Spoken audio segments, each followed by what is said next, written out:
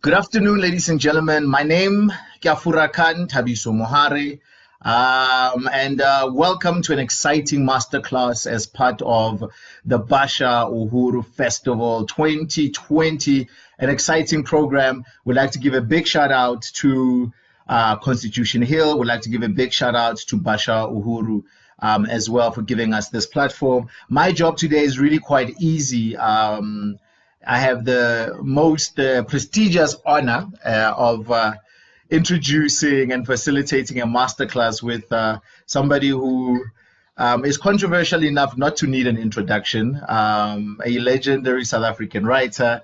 Uh, by the name of Ntate Lesego Rampolokeng. We need to give this man his um, respect and his flowers while he's alive. So re tla mitsa Ntate Lesego Rampolokeng. Um, we are grateful to uh, you know, for him to offer us his time. Um, and the purpose of this masterclass really is uh, for young writers today um, who are gaining prominence, who have a lot more avenues to publish, a lot more avenues to get heard, to really go back, go back to the to the basics and and and learn from those who have walked this road before you. Um, writing is also a learning experience, a lifelong learning experience. So there is no way you can say you are dope if you don't know where you come from. I challenge you to tell me that you are dope and you've never read any any of um, the ancestry. I don't want to call it a canon. I call it an ancestry of South African um, uh, literature. So today, my job really is not to talk a lot. You're not, not going to be seeing a lot of me. My job really is to um, introduce the man of the moment um, and to help facilitate his masterclass. So you will be seeing and hearing a lot more um, from him. So let me take this moment maybe to introduce him quickly and read his um, short bio. Uh, when people have done a lot in life, they deserve um, for their bios to be read. You know, we don't just say he's a writer, published author, and just like, you know, Mabani. Um, Lesego Rampolokeng is a poet and performance maestro um, and the author of 12 books. 12, Papa, 12 he has collaborated with visual artists, playwrights, filmmakers, theater and opera producers, poets, and musicians. He ho- he's no uh, holds barred style, radical political aesthetic perspective, and instantly recognizable voice have brought him a unique place in South African literature.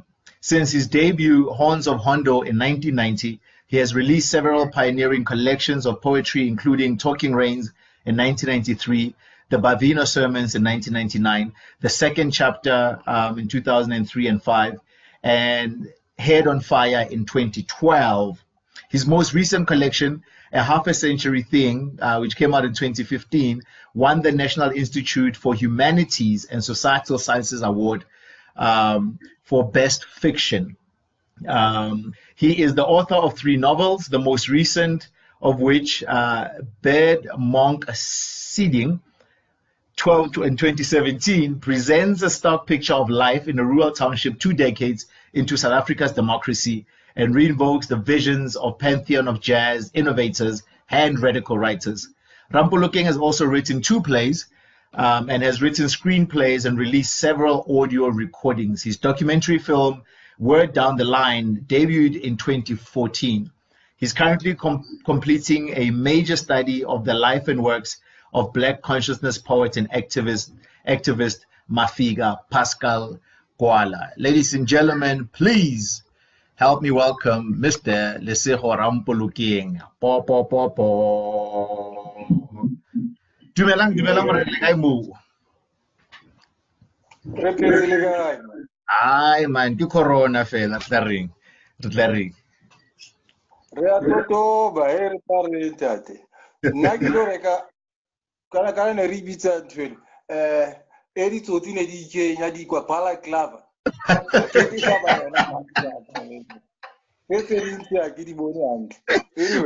Ubusut. Hey man, uh, thank you for joining us. Uh, this incredible bio of yours, even though I feel like, isn't there a few other things that have come since uh, this uh, this bio? The work on Ma- Mafika Gwala, has it been completed? Maybe before we get into anything, or update, uh, where, where are you? Wha- What's the latest stuff you put out? well thing is, um, the Mafika Gwala thing is essentially not something that's supposed to be static, something put in a museum or a library or whatever. It's supposed to be a living library. So there's no way of actually completing it because we get to add other people's ideas about black consciousness. What black consciousness is, what it meant, what it will mean tomorrow if it's run its course, and writings that were inspired by that period and by the man himself and the political engagement, the social and economic uh, issues that he dealt with. So that can never be completed. Mm-hmm. But as you know, that we hardly ever stop. Um, I think that the day I say, "Oh yeah, now you know I've found my voice. Now I've arrived. Oh, I've done it," is the day I stop writing. To be honest, right. I uh, what I do in life is a constant attempt to come to self, a constant attempt mm. to find my own voice. I mean, the mayor of Melville, you might know him, you might not, you know, once came to me and said to me, you know, writing poetry is very easy. When I was at university drinking with my friends, I'd get bored with what they were talking about, go to my room 10 minutes later, come back with a poem. And I thought, wow, this guy is a genius, you know. I mean, the thing is, for some of us, we have to bleed. And even when the piece itself is published, you can't claim that it has been completed. You know, for some of us, we have to wade through muck, through uh, debt, through blood, and we have to shed our skins along the way in order to create just one line of poetry. But some people are so, you know, blessed. They go to their room to the drunken stupor, scribble away, and come back, and they were a poem all good man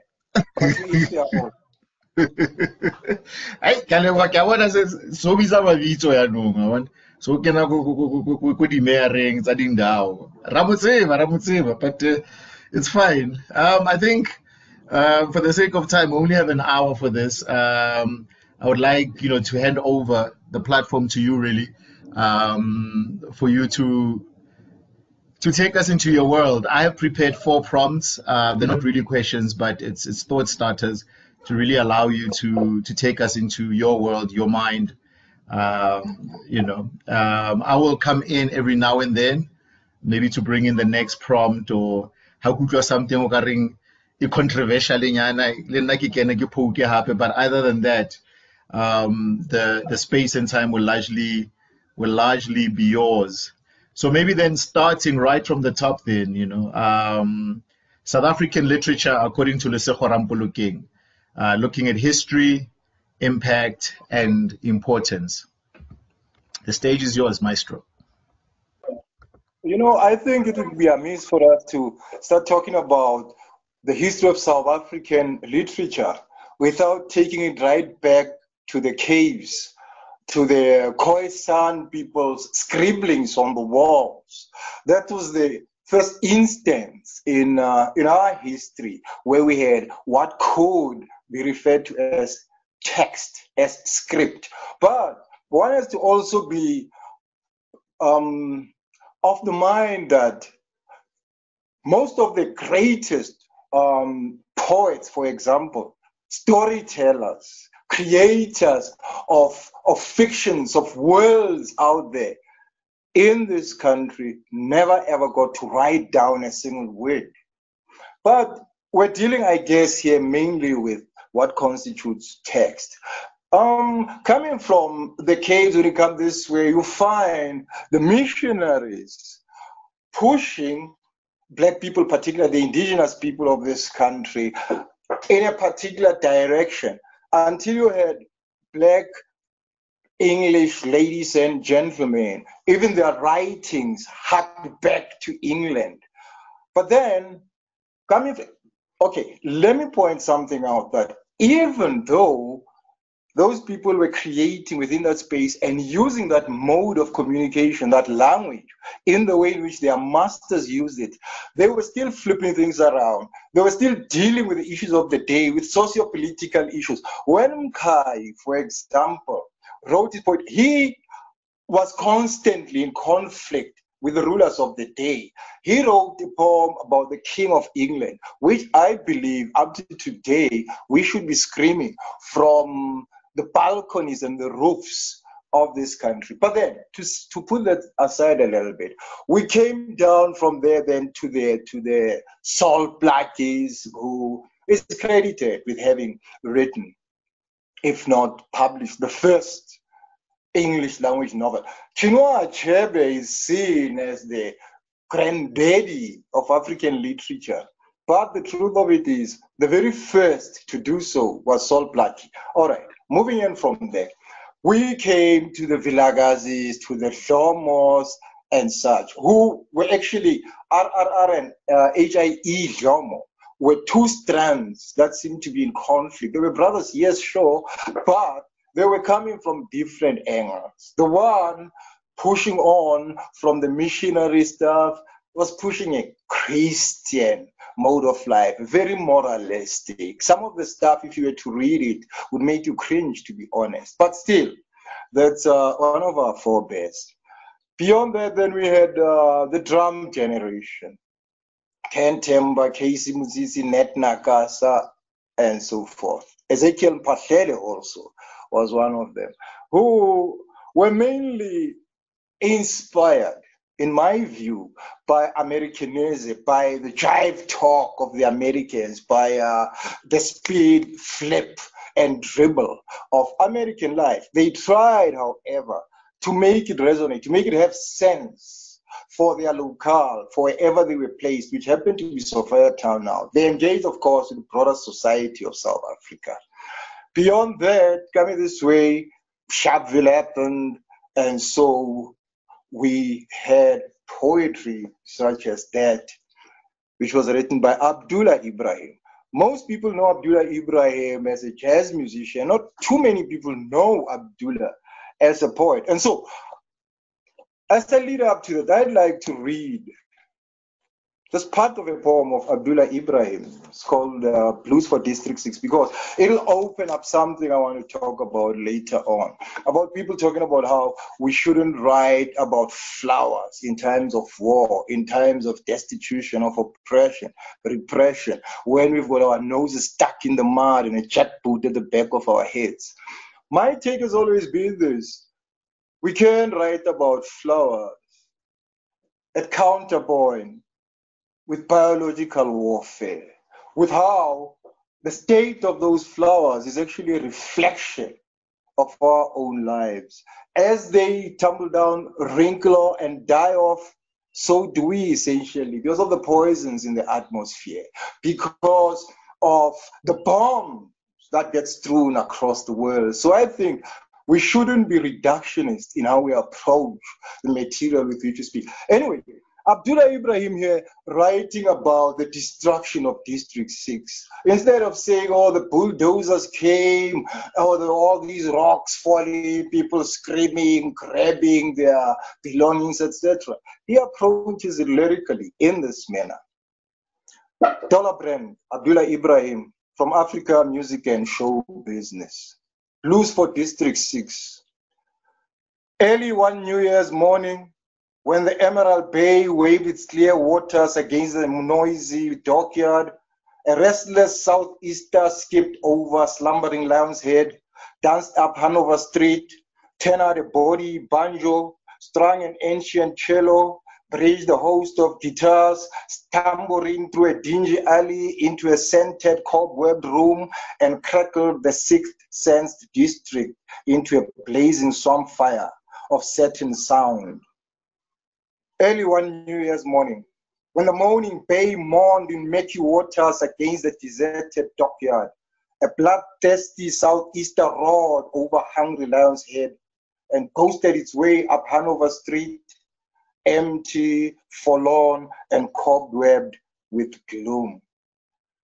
Now, what Abdullah is doing there is take the state of things and spin it into a musical orchestration. First part of it, he talks about the sweetness, the fineness of things, the silkiness of things, how good things were. And then this happened, this rupture in the lives of the people of District 6. And it became forlorn, it became hungry, it became growling, it became man eating. That is the way poetry functions.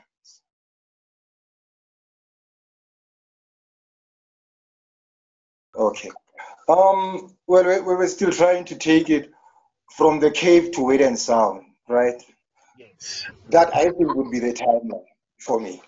Anyway, um, subsequent to, to Abdullah Ibrahim, James Matthews, who who really stands as as a great symbol of South African literature, over and above his writing himself, he was the first person to uh, to the first black person to open a strictly black publishing house. And it, it was actually called that black without the K at the end. Now, James Matthews came out actually speaking out against even the very idea of poetry. He said that poetry is all about, you know, I'm paraphrasing, hugging flowers, etc., being marshmallow people, and that's not his idea of poetry. His poetry serves as a weapon, as something that his people could work with and use towards their liberation. Right? So James Matthews can actually be seen as the father of, of the crop that came after, which was comprised of people like Mongane Wally Serote, Mafika Gwala, James Smith, no, no, no, uh, Mafika Gwala, um, Sipho Sepamla, for example. Now, for me, what was interesting in the quest for a strictly land-bound, this land-bound um, poetic was that Serote came out titling his first book Yakhal'inkomo. Instead of saying the cry of the bull or cow or whatever, you know, like uh, like his uh, little English ladies and gentlemen forebears, but then, even as I say so, I'm not really spitting on their graves because even when they were working with E in the confines of the canon, they were speaking back to the empire, as they say, the empire strikes back, whatever. Yeah, yeah, yeah. That's where it started. They were doing that. They were just confined in what they did with language. And one doesn't blame them, of course. They had what they could work with. You said when you started out, you had these texts to look up to. So it makes sense why you would sound like that. The same thing with that. Now we're talking about the form, not the content. The content itself was striking out against that, you know, but it carried quite a lot of uh, missionary inspired ideas and concerns, etc. It was like people are hoping that Jesus would strike against Pharaoh, which was uh, these people who were oppressing them. Let's leave that aside. Um, Mafika Gwala also, it's a pity, man. His one poem I would have wanted to share is a bit too long. It will take up too much of the space here, which I think really exemplifies that period. Getting off the ride. I think people should seek it out and read it for themselves. Okay, but then, while these are my fathers, these are people I looked up to, actually. I see them as the fathers of what I came out to do, particularly Mafika Gwala. But that didn't stop them from falling prey to criticism by a younger generation coming after them. Ingoapele Madingoane, Maishe Maponya, and uh, Matsemela Manaka, etc. Um, Ingoapele Madingoane, Africa My Beginning, you know, they came from the west sailing to the east with hatred and disease flowing from their flesh and a burden to harden our lives. Beautiful, hardcore. They they accused the generation before of hiding behind language, you know, trying to to uh, shape whatever it is they wanted to use as a form of weaponry against the oppressors in sweet, well-molded language. No, no, no. They were out with their spears. I mean, Lefifi Tladi came out also before them actually. Lefifi was just immediately after Bosirote, etc. We are the elephant, you know, marching through. So even the the um the imagery, the metaphors there pointed, is you know, uh, fighting talk, ready to pull down the building stuff, which wasn't really what Wally Serote were doing. What they were doing was extremely important, but these other guys were actually cutting out all excess, what they saw as excess baggage, and getting to what they deemed um, the point. Okay, subsequent to that came Borona, but Gepsel, you know, uh, withdrew from these guys. But our concerns, I think, well, took it to other directions. Whether those directions are okay, whatever. But, uh, you know, the times dictated that. Just like the times dictated those people right like they did, our times dictated. And I'm not trying to say it was all homogeneous, that we were all a blob, everybody was writing like this. No. Um, for example, I'll give a piece that Seitlhamo Motsapi, you know, was of the generation of Nkoli Seniors, or for example, myself, a little piece that he wrote. It's not long. Solo. My love, there are no accidents in war, no kisses on the belligerent lips of crocodiles, no loves greener than the dancing hearts of children, no reveler jollier than the worm in Columbus's boiling head. There are no songs beautifuler than the stern indifference of the hills. There are no flowers more glamorous than the seas of children home in my little heart. I tell you this as the sun recedes into the quaking pinstripe of my warriors, grinning and vulgar in their muddy dreams of power. I tell you this, love, because the roads have become hostile. Now, that's the poetry, well, an example of the poetry I regard as uh, the poetry of emergency. It was created during the states of emergency coming this way. People like Sandile Dikeni, you know, Guava Jews writing about throwing of petrol bombs, etc. We had uh, Comrade was the loudest of the Lord. I, you know, I always defend the guy myself to be honest. I always defend him. I say, look, man, not even Ingoapele Madingoane had as great an impact as the guy.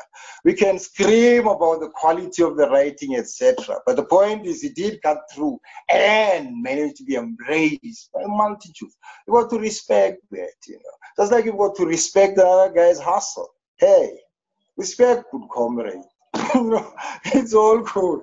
All right. From there on, we birthed the generation subsequent to that. That's why we can have yourself, for example, we can have uh, Gift Ramashia, Makafula Vilagas. We, we will get talking about it, I hope, when we get to the issue of language. I, I do hope we get to it because I think it's essential for us. Mm. Now, talking about the impact of South African literature, first of all, let me point out something that I don't recognize the borders of this country they were not created by the people of this country. They were created in Berlin at the Berlin Conference when uh, cannibals of Europe deemed fit to share out the continent among themselves. So when I'm talking about this poetry here, I also include the poetry of Ratsie Setlhako from Botswana, who played what was called the Sekgaba and recited his poetry over it. For me, I can make the argument that it is precisely because of the kind of music and poetry marriage that people like Ratsie Setlhako created that we had across the pond in Jamaica, for example, someone called Daddy U-Roy, who's seen as the father of the reggae DJs who toasted and dropped um, poetry lines on top of reggae instrumentals or dub versions, as, as it was called. And from there, well, it was Daddy U-Roy, I-Roy, people followed him, Big Youth. From there, it traveled across to the USA and found people like the last poets who did their poetry to the accompaniment of drums. We had Gil Scott Heron, who recorded the classic The Revolution Will Not Be Televised, and they are seen as having kick-started what became rap music. So we can actually draw a line from across this continent going that way, going that way, and coming right back to today what people are doing uh, spoken word poetry. Um, the sad aspect of that, though, was that it almost stripped certain people when it came right back of of the identity. For example, and this is not to set anybody off the bad way, but we had um, coming down the line from Amiri Baraka, we had Nikki Giovanni. And Nikki Giovanni was very popular, putting her poetry to music and whatever. And then we saw in South Africa little Nikki Giovanni is jumping up. Sadly, they didn't get to shed the Nikki Giovanni influence. We'll talk about influence versus mimicry down the line, I hope. Please prompt me when we get to that. And we had Saul Williams. That's now a classic example. How many Saul Williams you had in this country? Your question, though, was about the impact South African writing itself had on the world. When, for example, you um, you look at somebody like uh, Sterling D. Plumpp, who could write a collection called Johannesburg and Other Poems, utilizing site-specific issues, images, name places, people's names. And you have uh, Kamau Brathwaite, whose poem Soweto actually used the uh, the language within its midst, somewhere within its body. It used directly is it Xhosa. Then you begin to realize just how much this country has impacted, not only politically, but artistically on the rest of the world. You can go to Europe, um, to England, for example, where Linton Kwesi Johnson resides, and talk to him about the impact South African politics and South African literature had. We had Jean Binta Breeze also, who we brought down here some years ago. Sadly, she couldn't perform. No, I think, I think thank you for, for, for then bringing it a whole, um, um, completing the timeline, you know, which then nicely segues into the next prompt, which is the purpose and task of writers and literature in this day and age, according to Lesego Rampolokeng. I mean, earlier we had touched on the concept of mimicry and mediocrity, and I think in your own story, you you also um, you know illustrated how you know certain voices that came before you were your fathers and you were inspired and influenced by them and you drew from them um, as well. And i know i mean you know the concept of mimicry and medi- mediocrity especially with this generation has been so widely debated and and and you know controversial issue. But if we then have to start from here looking at these voices your gifts your colleagues you know there's a whole new generation of writers that uh, um, your generation has brought forth then what becomes the purpose and task of the writer and and, and their literature then? Okay. Well, first of all, um, I'm not a cultural commissar, so I don't go about making proscriptions and saying to people, no, you're a writer, you should be doing X, Y, Z. I do what I do. I regard myself as a writer of social conscience. Somebody can write about marshmallows or chupim ding or whatnot, you know. Some people can go and be marshmallow warriors in Santin. That, that's okay. You know, you hit them, absolutely nothing happens. The fish just goes into the marshmallow, springs right out, everybody walks away it's okay as long as as long as i mean people could write about their dog snoopy or brownie or whatever as long as that is a distillation of their universe as long as they are so submerged within that that it becomes them and it comes from within them if that's what they feel that the crux of their existence is to be found in their dog snoopy and what Snoopy represents. I'm okay with that. I just am inspired in another direction altogether. All of that is valid. Somebody said everything is valid in poetry. Well, I believe that every single instance of lived reality is valid, is food for writing. If somebody thinks that uh, their world revolves around Bukhotana, and they write about that. I respect it as long as it is real, as long as it is true to their existence, as long as it's not a show being put on for me. Now, on the issue of mimicry, look, was it Charlie Parker who said when he was asked to give advice to young musicians? And he said, you know, look, what you have to do is to learn the inner uh, mechanizations of your instrument. Learn everything about your instrument, what it can do, what it can do, what other people have done with it. Learn. That's the only way to learn. Just make sure you get to know every single thing about your instrument. It's history, everything that defines that instrument. Once you've learned that, forget all that learning and just play. For me, that is what's of essence within writing. Yes, read as much as you can. But I have to point something out again. I mean, when we teach creative writing, the first thing we say, you can't be a writer if you don't read. Yes, indeed. You've got to read as much as you possibly can, not in order to absorb that and try to recreate it or whatever. No, no. Uh, Cervantes was a great writer. Goethe was great. Shakespeare was great. Yes, I respect that, but I don't want to be them. I've read them and I read every single thing I can lay my hand on cartoons, I read the Bible, I read everything. Not so much to walk along that line, but just so that I know how much ground has been covered in order to strike out my own path, you know. Um yeah, that's pretty much it there. Now the issue of of of the uh the writer's task. Look, in prose, one can act like they're splashing paint on a canvas, right? That's fine. That's cool. Creating a picture for me to uh, receive in whatever way I do. In poetry, the idea is to cut off all excess connective tissue, all fat and whatever, and reduce, reduce the entire matter, your entire scope of life to the tip of the pen, so that the entire universe is distilled in the moment of the creation of the poem. For me, that is the task of the writer to arrive at that moment, not to go around writing. Look, you can be a pamphleteer. Go and write pamphlets. Go and write, you know, banners. Yeah, Darwin, Brackenfell, whatever.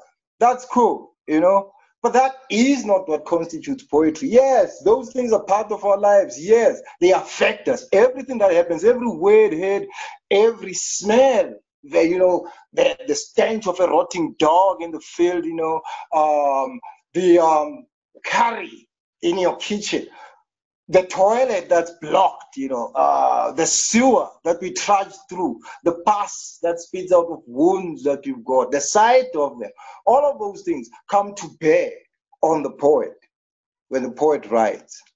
I don't wake up in the morning and say, ah, today I'm going to write a poem. No, no, no. I'm going to write a short story. That's not it. I think the writing determines itself. And in the same way, the writer's readers will be found by the poor. No point in running around shopping. I mean, nowadays, even when I try to give people my books as a gift, they run away, you know, let alone not buying the stuff. I mean, I've, I've, I've, had the privilege of, of reading some of your books. I remember reading Blackheart and going, I need to have a conversation with this man.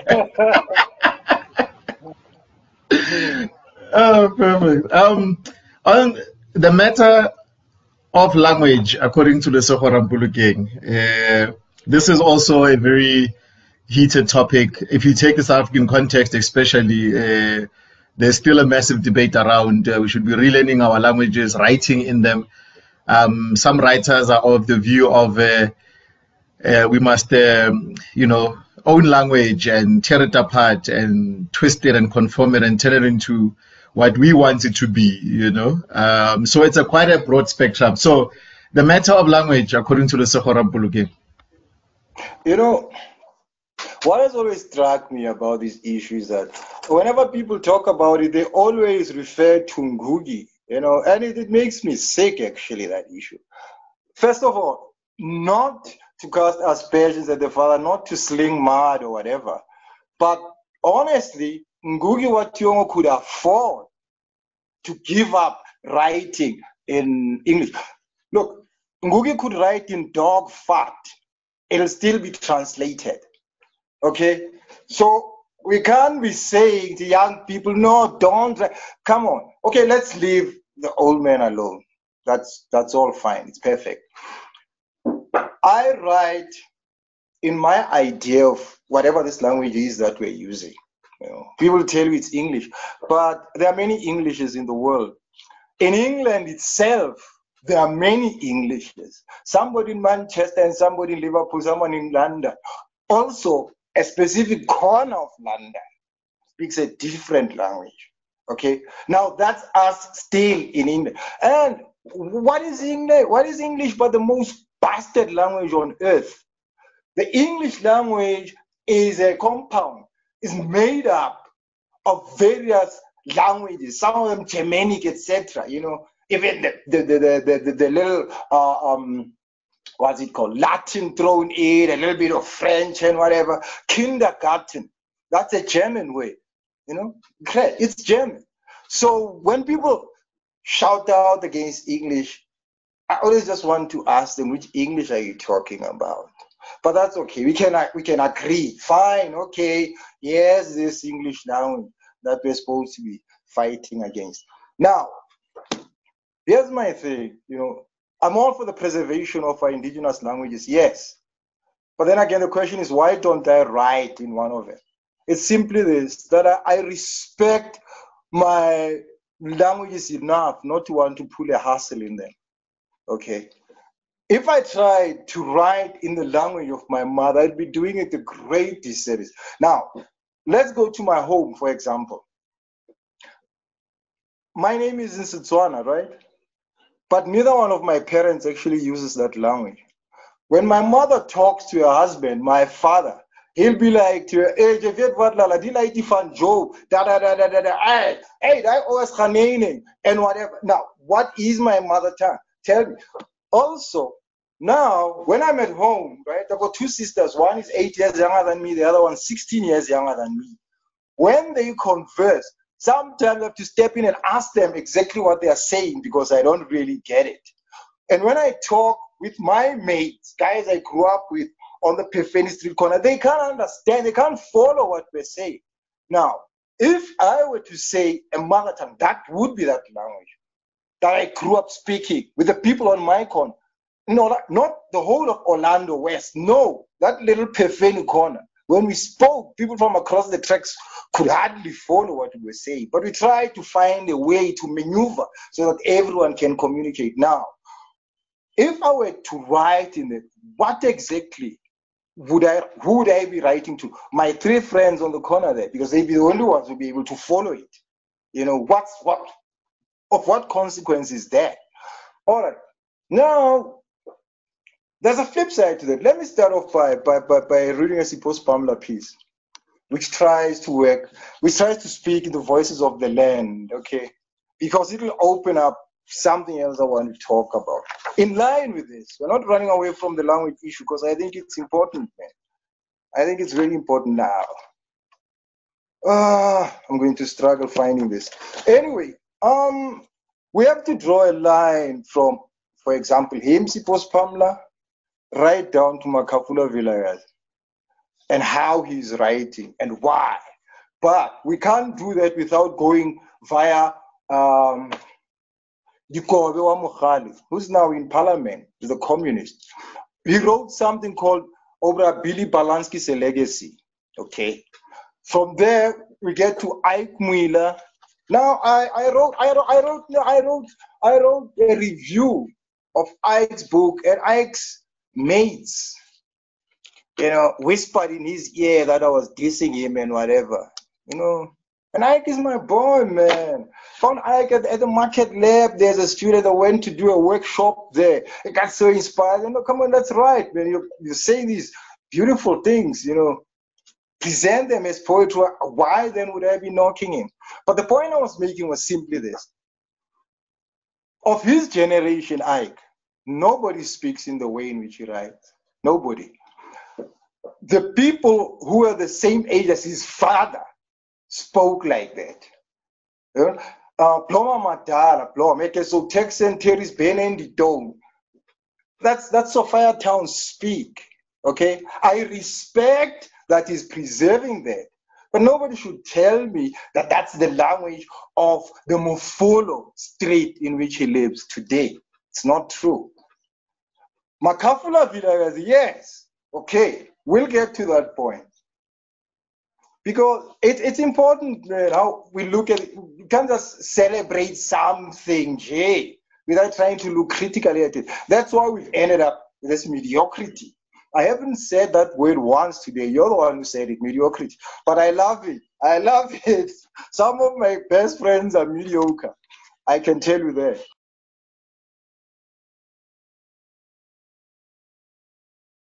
Um, while you're trying to find Sipho Sepamla, uh, Makhafula I mean, you said Makhafula Vilakazi. Now that's a different story, you know, and I'm privileged to know and, you know, and have, have experienced his work. What for you makes somebody like Makhafula Vilakazi, who, I mean, going back to your point of, you know, what's the point of using language that no one else beyond your three friends is using? Um, you know, what are you really going to reach? But Makhafula, his choice of language is, uh, is very interesting. What, what makes him special for you? Well, you, you know, um, here's the thing. The question is actually broader than than than we made it out to be right now. Here's something else. I mentioned Mqhayi earlier, right? We could mention Ntatenzani. You could mention whoever, right? Or four bears. Now, I lived in the Eastern Cape. And up to today, I mean, after years and years, I'm yet to come across somebody who actually speaks in the way in which Mqhayi wrote. Mqhayi wrote in um, in the language with whatever nuances, etc., of his specific time and place. Now, if we're going to say, oh, uh, let us drag this language from Kai's time to here, whatever, as though it's this petrified thing that's frozen and locked in time. That language is not language is not static. Language is dynamic. Language changes daily, actually. You know, I'm in the I'm in the northwest now, and the Setswana that I encounter is not the same Setswana I found in Botswana and Gaborone. It is not. Even within Gaborone itself, different modes of usage of that language exist. So, what are we really saying?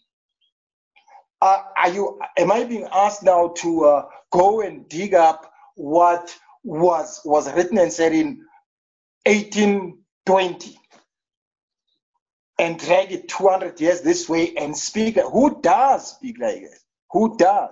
For me, I respect somebody who attempts to grapple with the modes of communication that they themselves engage in and the people they engage with. I respect it. And I think Makhafula has gone some way towards that. My fear is where does someone like that go from there? Fine. Okay, this is great, you know.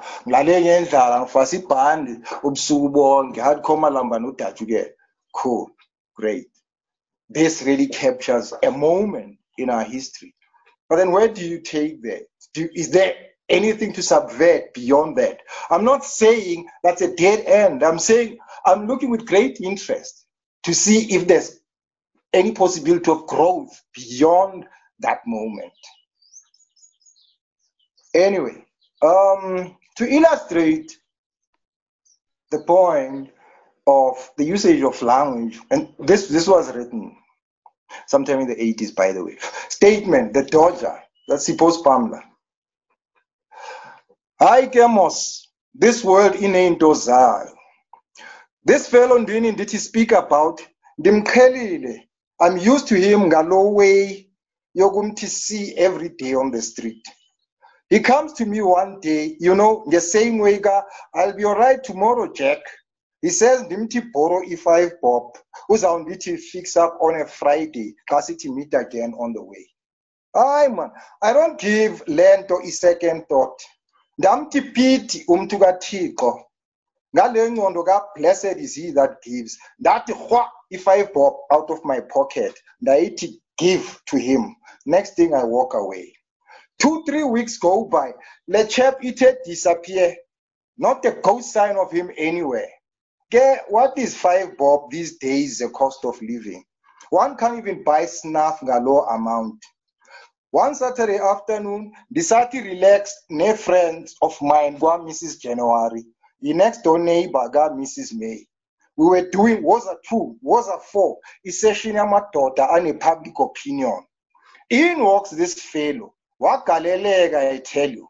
Ndiphi by then? Kwa-love and peace. Andinxilanga ndiyashusha. Drunk as a sailor i tell you. Ifellow le he doesn't see me. Whether fair or foul i didn't know.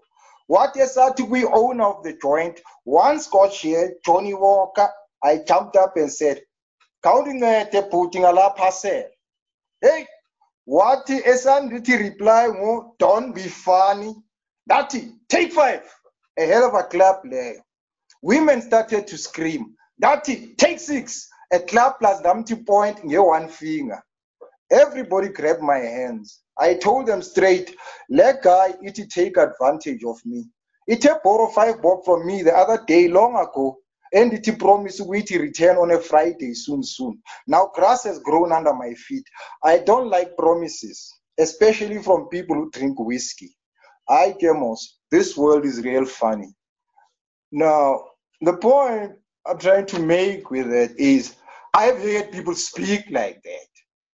I've heard um, people i mean of speaking nurses you know walking down the street and me as a little boy running past them hear them express themselves pretty much like that. Like i said i was in, in the in the in the eastern cape and people do speak a, a version of that.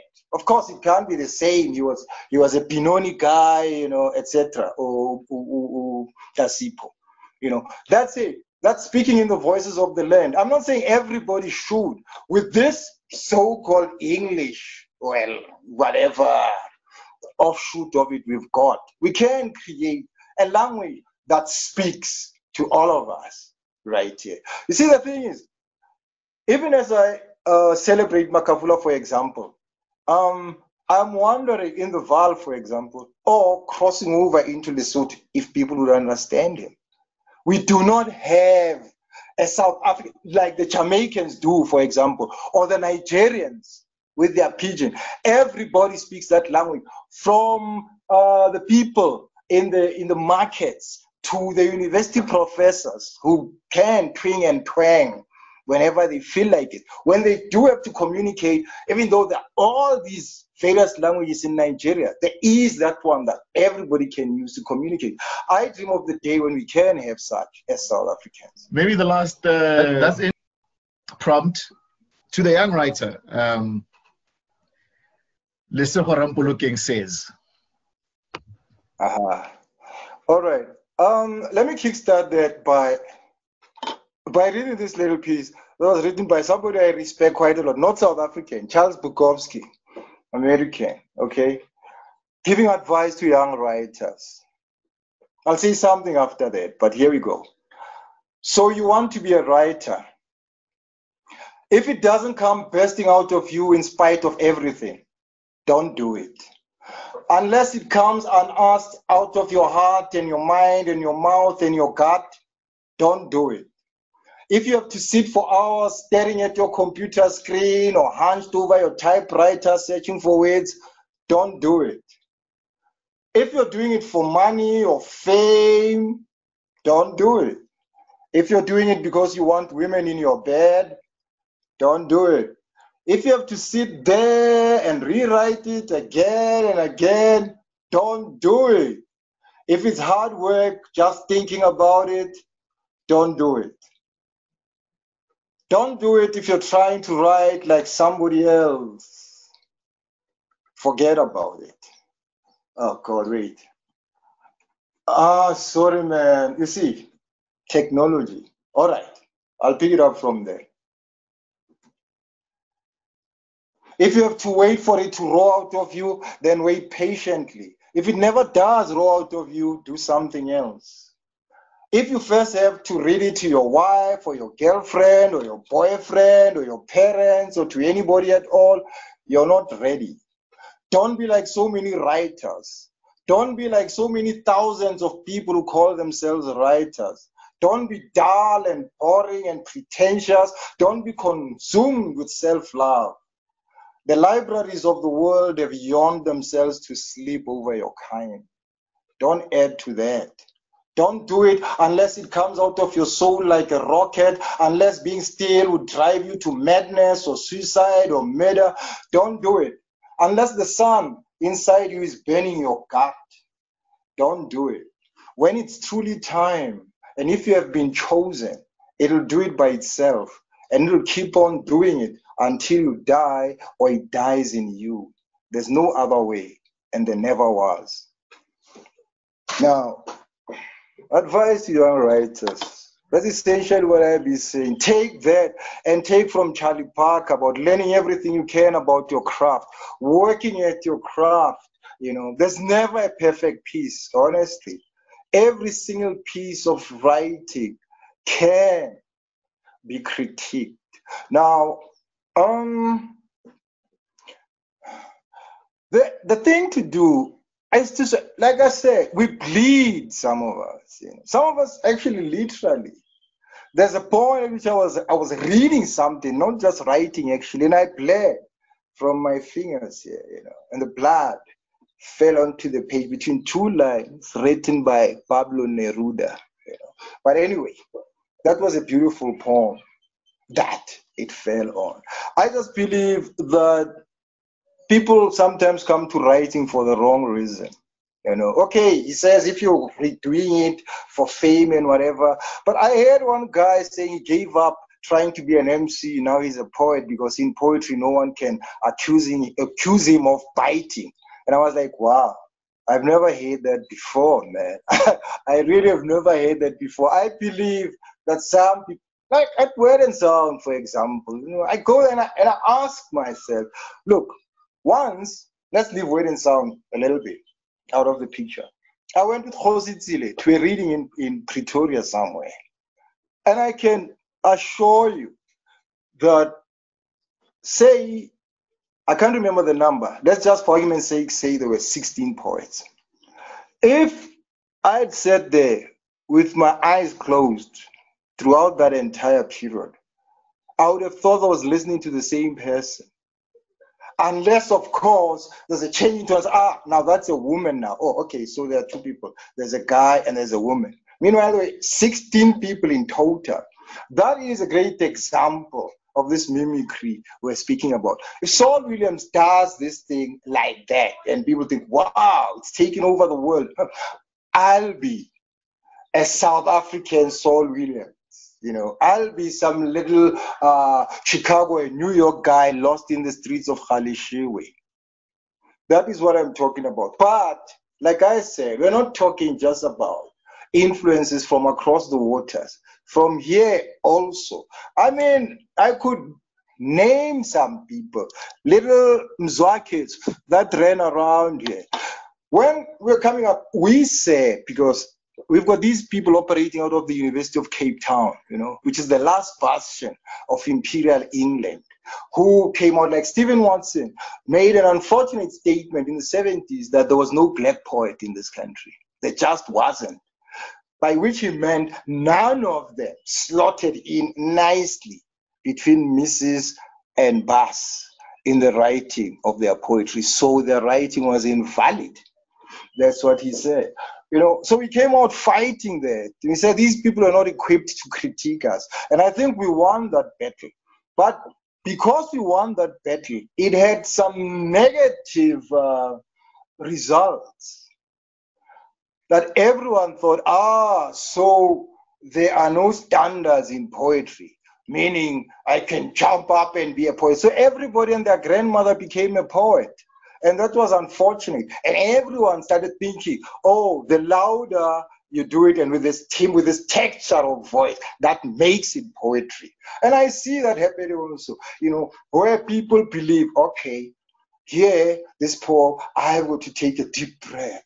You know, uh, oh, this calls for a sigh, and da da da. I've seen that. This person comes at this specific moment, very well rehearsed, sigh. Ah, oh, that's not poetry. Let the work speak, please, please. That's now. That's the advice I can give. That you know, your voice will come. Patience, respect the word, and the more you respect the word, is the more it'll respect you in turn. and love you. Show it all the love you can, the compassion you can, you know, empathy, everything that's positive. It might hurt you, you might come away bruised and battered and whatever, but the results of it will be the beauty that you can then share with those of us who are willing to receive it. Mm, sure. Um, I'm going to ask you to read us something to close, but before that, uh, MCs have ciphers. What do poets have? you know, ah, you know, this is this reminds me of something.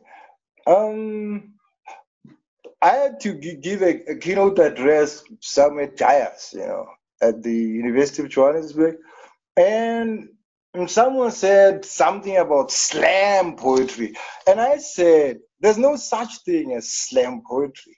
Slam is a concept. Slam is not."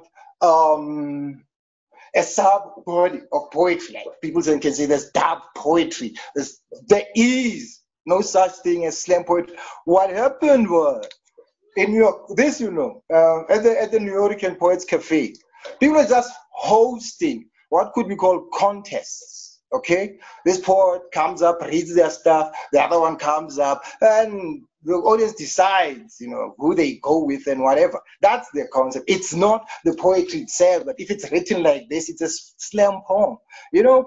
But this person got very angry with me, claiming I'm a slam poet. I said, what does that mean, essentially, you know? I understand there's battle rap, that's specific. This MC stands there, you stand here, you tell him how wacky he is and whatever, and he throws. I understand that also, you know. But the concept of slam poetry, I understand the slam. Ah, the slam happening. Right. But give me a poem that is a slam poem, please. Say, here's a slam poem. I'd be happy. I, I want to learn. I'd be happy. You know? Um I'm glad I'm glad you I'm glad you took it in that direction. Okay. I was saying I'm glad you took it in that direction, you know, um, because again, yeah, the, the concept of uh, so-called, I mean, to this day, I still get called and, hey, we're looking for slam poets. And I'm like, there are no such things as slam poets. Um, so thank, thank you for, I think, once again, uh, clarifying that matter. I think there's a lot of young people who, you know, it, it, it's, it's, and, and, and it's used, it's used um, um, um, uh, freely, you know, uh, slam poetry, slam poets um, and and yeah, sometimes it, it, it embarrasses us um, and shows just how little we know of the history of the instrument that we are trying to to to master you know. So thank you for for for clarifying that. I hope it's clear now. There is no such thing as a slam poem okay? There are no slam poets. There's a thing called a poetry slam which is a competitive format of sharing poetry and points matter but there is no format called slam poetry.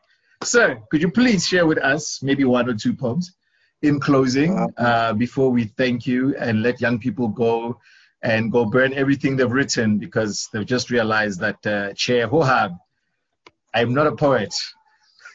um, okay, I just want to do the two two little pieces, you know, very different the one I guess I want to do because I got kicked out of Rhodes University, you know. yeah, well, you know, man, it doesn't matter how well you do your job, how great a teacher you might be, or whatever. This thing is a superstructure, it's massive. You can go with your hammer and chisel and whatever and start knocking on the walls or whatever, you're not going to be affecting it in any particular way. It's just true. Anyway, my Rhodesian rent, dedicated to Cecil John Rhodes. Not rhyming, son. Envenomation, this. The scheme's a toxin, cerebration poison. Intellect crack like chest plate back in full metal jacket talk. Santa Puss and Father Pismas bring disease as present. Countdown to, ah, mama, get on this. Horsemen of the epoch eclipse, keep my name off your apocalypse. Peace in your uterus, peace on the mattress, each a piece of the universe. Gift of the rabbit, I got that. Next up, my mongrel poems. My generation break beaten into line. Obscenity heritage, pornography pageantry, sir, fecal and cum stains post bomb invasion, never con seminars with my ancestry. Thus, my telescopes, your rectal probes. Superstars, asteroids or asteroids and hemorrhoids, all things I try to avoid. Now time has stuck a fist so far up my rectum, it's waving Amandla out of my mouth. What a boneless slogan to chew. Thus, Cecilia Joan Rhodes, pissed to meet you, dread professor, at your cervix. All right. Next, oh, oh, short oh, Next is to close this off because it speaks about where this poetry thing comes from. Okay, people will be asking, you know, um, do you start with with a title? Do you start with a line? Do you start with a word or whatever? I got tired of being asked that question. I decided to write. You know, it's pretty much my uh, my ars poetica, as they say. It begins with sound. No little bob peeping snitch but I come in, blowing horns for Hondo against these Jericho walls of ghettoization. Cause in the beginning was the acoustics, a weird horde hiding in the keyboards. Thus it is. Earth belly bound bass and rim shots sprung from electric drum clouds. Guitar line that's a reed riding black lightning. Organic sound, what I'm stringing, it bounced back on interplanetary sonic springs. Grandpapa Khoisan cave, the echo chamber. Who cares what my voice is timber? I'm the Ra that came before the sun, the fire soul of Fanon's children, the purulent soul that got the reverend chicken scratch and run. There where we end beginnings, the second chapter of the book in ashes, the Bavino sermon on the monster mount, a black hat Bantu ghost talking rain to white hat. It begins with sound. My verbs, the Vaal River reverb, flow like the main artery burst. Nouns, bounce of the Karoo moon. Body canoe mind, rise high fell to Plateland. Multipolar and polyrhythmatic aligned. Solar systematic beam poet rays with the desert sun. Public address cable melt from hissing volcanic tones of skeleton coasted, gold dusted, diamond busted, blood, brain, flesh, and bones as I rest my veins upon the Khalakha descends. My scriptures, picture sutures for my sounds, wounds, psyche bound, it begins with sound. What's news comes with a locust plague in shiny shoes while I hum grimy blues of abandoned farmsteads and abandonment in palm spreads. Follow the poem's riverine threads, their seminal threads, leading from here back to Razia Chicago. For as Bosman wrote, Africa is the genius among the continents. I embrace this. Drink inspiration from the number one chalice. Her blood provides my ink. Her wretched body is the debauched rendered inanimate my canvas. Salvaged after the colonial cannibal feast, not experiencing politics or the dependency economics, glamour sellers romanticize. Ramasela we, mwana wala. Motseleleti Sankomota. Orlando West Hermes Trismegistus working the alchemic out of waters of slaughter. Dynamic, futuristic, not stuck in romantic past, still told butt kick against stagnant presence. It begins with sound. Got the microphone wire mesh soaking from centuries of bleeding I'm bringing. Vocal cords, magma bubbling. Word. Some use it for hate. Me, it is to self-dedicate. Mental construction, working emotional hydraulics. Flip it, cyberitic and arid, stormy and temperate, fluid in flight, both outward bound and meteorite. The verger in a 16 bar measure. A cranial hidden treasure rhymes variant as the climactic lay of my prostituted poetry public. Blessed and cursed intent to the page I come amniotic. Mutant, fallen off the literary conveyor belt. They milk the system. I've gone trans lactation. Need nothing corporate. No transaction to feed optimal consciousness. No freestyling in golden chains. I go specializing in molding brains. Bareback writing senses. Sipping deluded pretenses out of denuded veins. It begins with sound.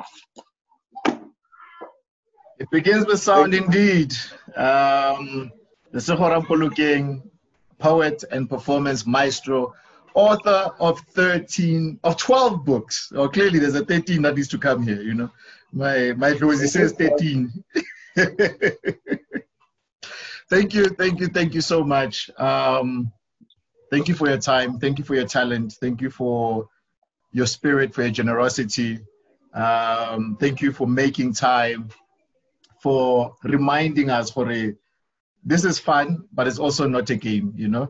Uh, I was about to say as you were as you were reading there that uh, there's a lot of rappers that you could just kill in without even uh, you know without even trying. A lot of uh, rappers on Channel O and MTV Base that you could school.